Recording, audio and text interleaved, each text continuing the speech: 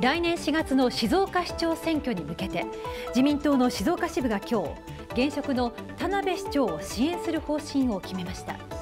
また同じ自民党の山田誠県議は今日出馬会見を開き生まれ育った静岡を絶えず成長する街にしたいと抱負を語りました。今続々と自民党市議団のメンバーが会場に入っていきます。今日午前に非公開で行われた自民党静岡市静岡支部の緊急会合。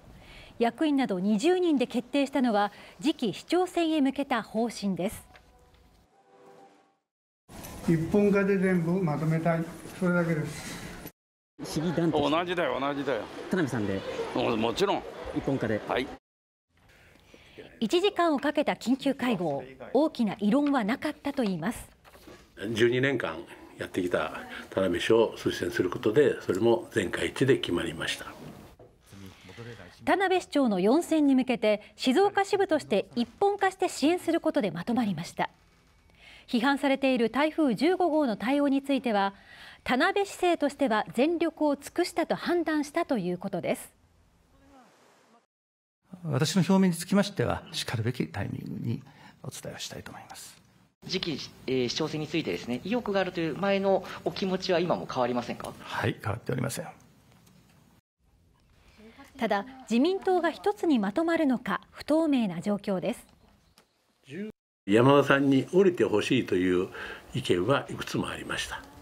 一つにしたい票を少しでも自民党の票を割りたくないというのは本音であの皆さんの意見としてありました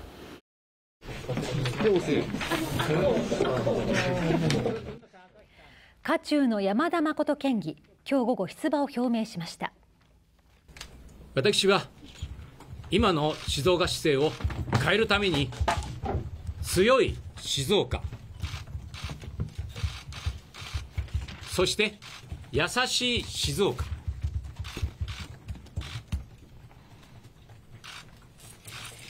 この2つをスローガンとして来年の4月の静岡市長選挙に立候補することを決意いたしました。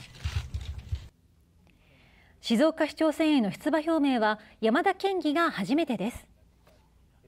この静岡に若者がまた夢を持ってもらえる企業に選ばれる街そして若者に選ばれる街そこを目指します私が生まれ育ったこの静岡の街を絶えず成長する街にしたい。山田県議は静岡市議を3期務め県議は5期目。長年自民党で活動してきました。現職支援一本化の動きについては。きちんと自分たちの政策を話をしてこれからの4年間ですね。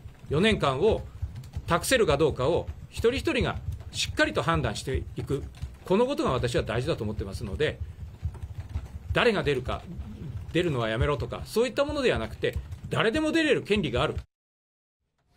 山田県議は自民党支部からの推薦を目指していく考えです。一方出馬の意思を固めている県の難波理事は今日都内で熱海土石流災害について講演しました。これからはですねやはり行政はしっかりと情報公開をしてですね、まあ、社会の大きな地によってえー、その防災力を高めていくっていうのは極めて大事だと。